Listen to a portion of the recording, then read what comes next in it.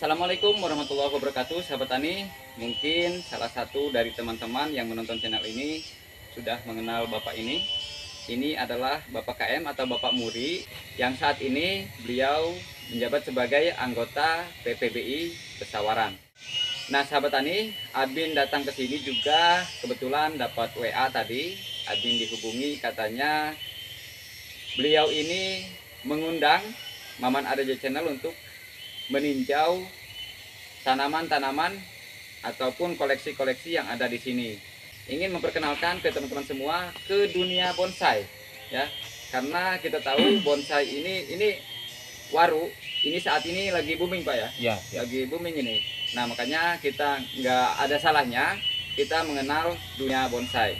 Nah kita sekarang langsung ke Bapak Muri atau Bapak KM seperti apa di dunia bonsai. Kita mari mengenal bersama-sama. Selamat menyaksikan.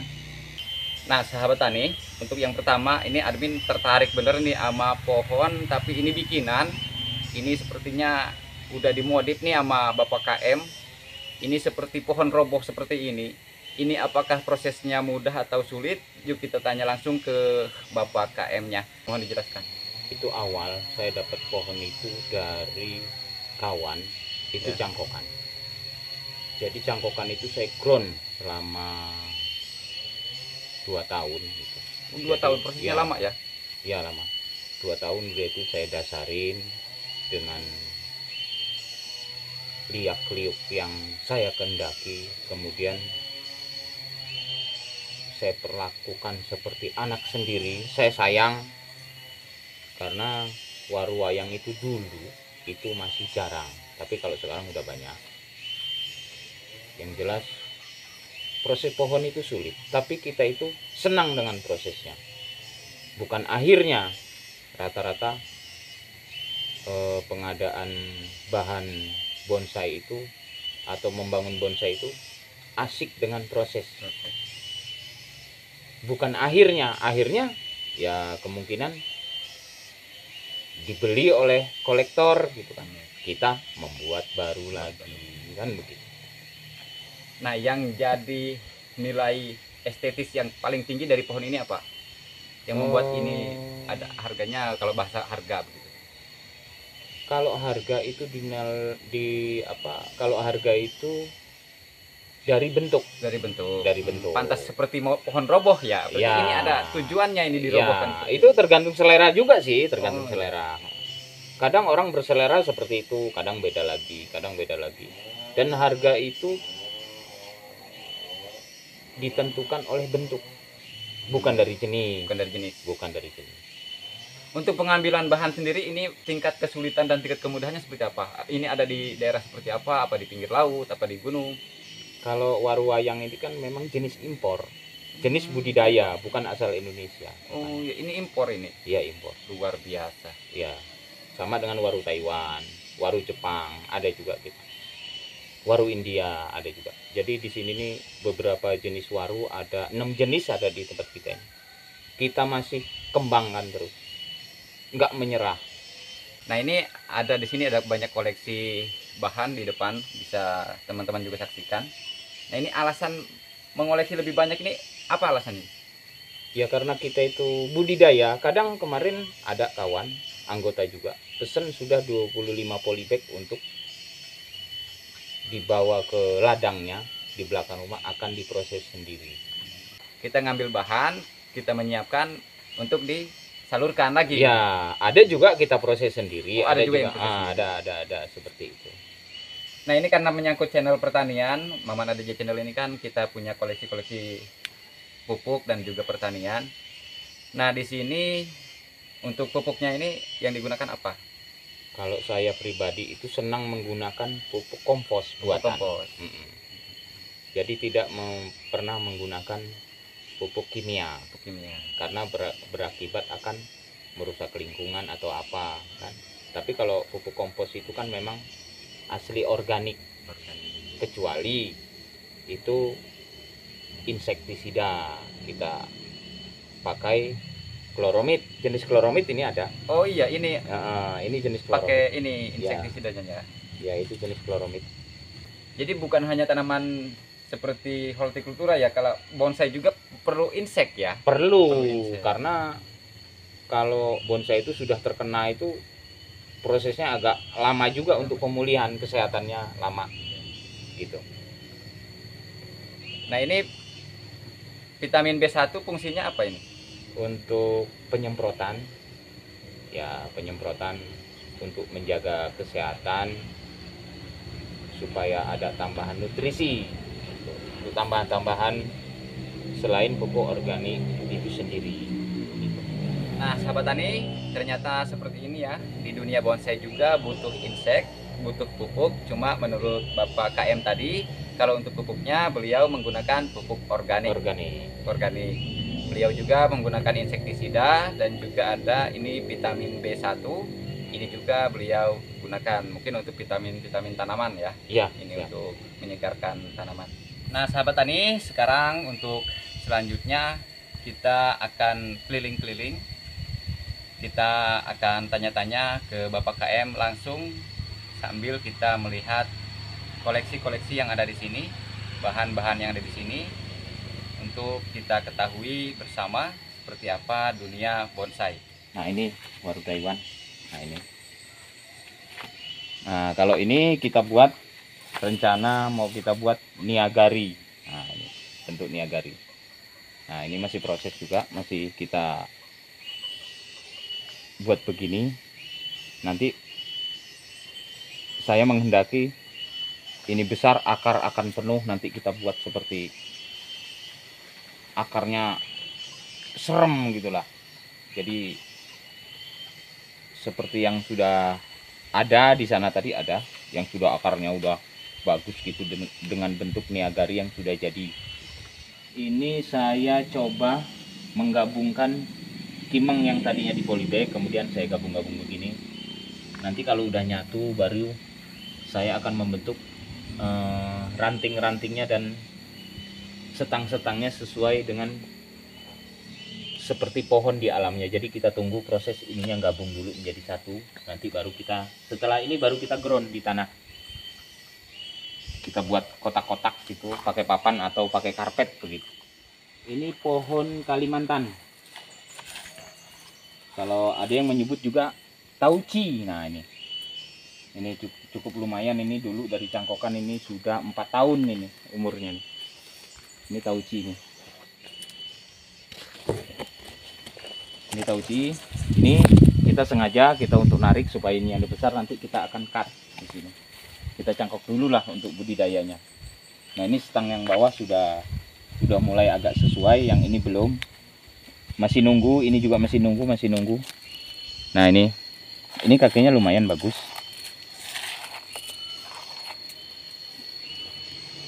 Ini formal nah ini Ya, sahabat, seperti ini kondisi perkebunan dari Pak KM. Nah, ini ada jeruk juga. Ini jeruk apa ini? itu jeruk Swiss Jeruk Swiss. ya jeruk Swiss itu jeruk bonsai masih budidaya banyak sih jenis-jenis masih apa eh jeruk Swiss ini masih kita tanam-tanam juga masih apa untuk perbanyakan masih masih dikembangkan Nah, ini teman-teman. Ini walaupun kecil ini umurnya udah tua ini ya kali ya. sekitar setahun setengah lah Wow. Ini setahun setengah teman-teman, tapi masih seperti ini ya. dan bentuknya mantap teman-teman ya. Ada liuk-liukan seperti ini. Nah, seperti ini. Ini prosesnya ini butuh waktu lama juga nih ya. ya rata-rata setahun setengah nah ini setahun setengah Setahun setengah. Ini asam lokal ini ya. lokal ya Lokal ini. Ini jenis pohon ID-nya loa. Ini biasa tumbuh di pinggir kali, di muara-muara. Nah, ini ini awal dulu nyangkok. Kemudian didasari, kemudian dibentuk sesuai dengan kemauan saya. Kemudian saya angkat ke pot kemudian ini baru proses membuat setang-setangnya. Belum ngenol ya masih nunggu besar. Kemungkinan sejempol sebesar jempol ini baru kita cut untuk proses selanjutnya untuk membentuk anak ranting. jenis pohon ini jenis bandel yang penting tidak telat air. Jadi penyiraman dua kali sehari pagi dan sore.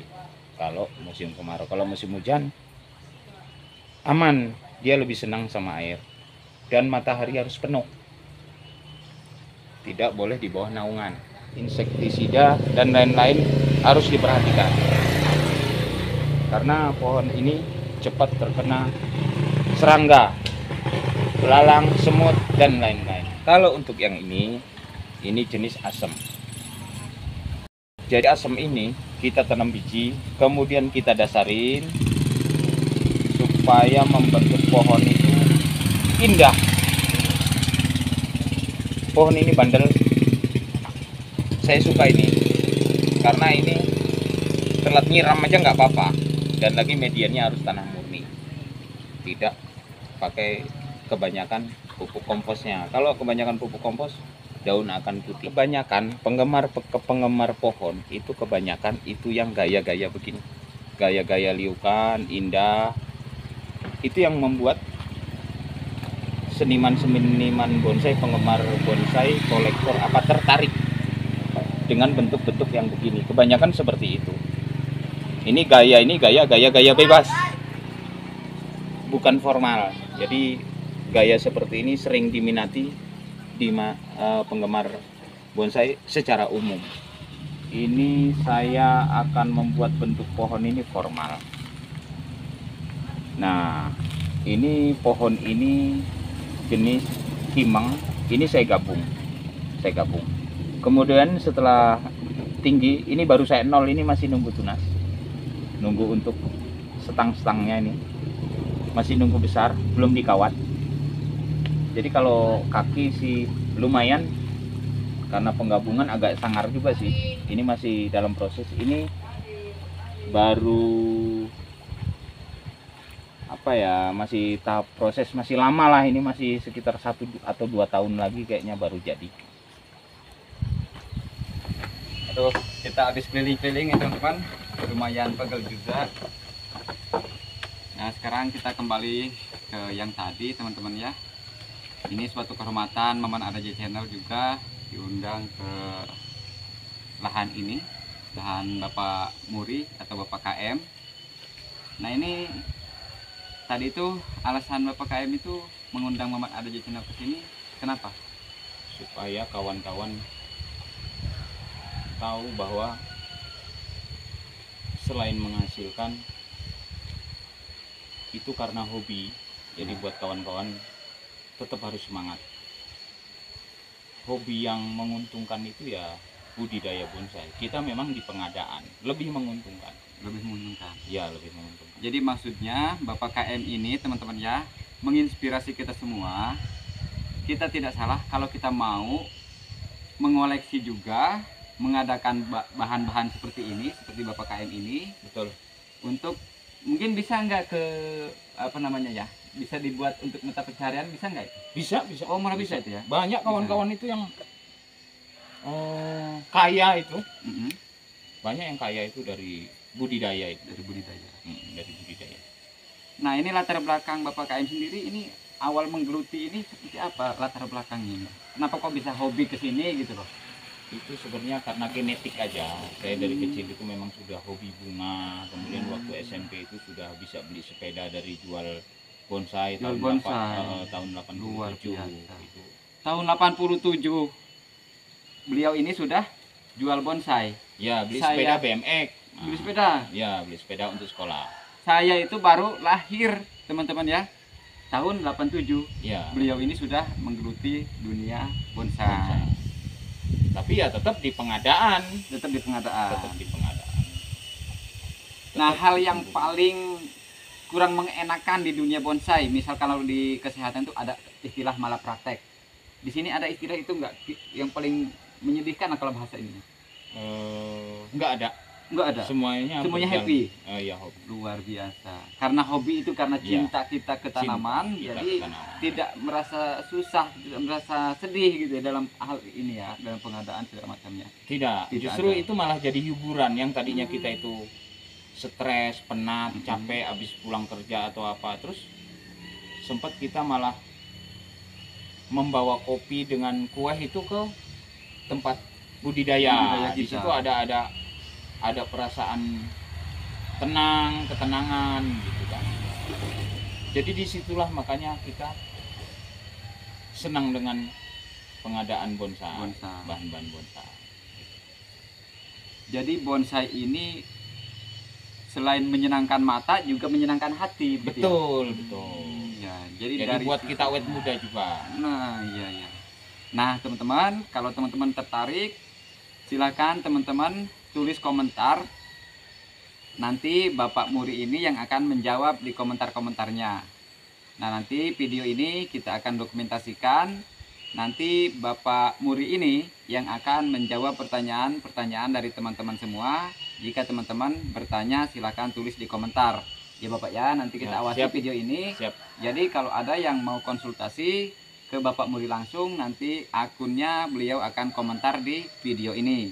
Jadi silahkan teman-teman bertanyanya langsung ke Bapak KM ini. Atau mungkin ada nomor WA kalau misalkan ini apa enggak? Facebook atau bagaimana? nomor WA bisa Bi- Bisa sebutkan saja 0852 7991 8596 ya sekali lagi 08 52 52 7991 7991 8596 8596 atau nanti teman-teman saksikan di bawah layar ini ini nomor WA dari Bapak KM atau Bapak Muri. Kalau teman-teman mau berkonsultasi langsung ke Bapak KM ini atau Bapak Muri. Atau mungkin punya sosial media seperti Facebook? Punya punya nama Facebooknya? Muri-muri. Nama Facebooknya Muri Muri teman-teman ya. Nah teman-teman silahkan lihat pada layar kaca ini. Di sini ini Facebook dari Bapak Muri ya. Kalau teman-teman mau inbox ataupun mau boleh ke Facebook Muri Muri ini. Ini Facebook beliau resmi. Oke teman-teman di akhir video Admin mengucapkan terima kasih kepada teman-teman yang sudah menyaksikan video ini. Dan juga spesial untuk Bapak Muri. Terima kasih sudah mengizinkan Maman Adaja Channel udah mengizinkan untuk berkunjung ke sini.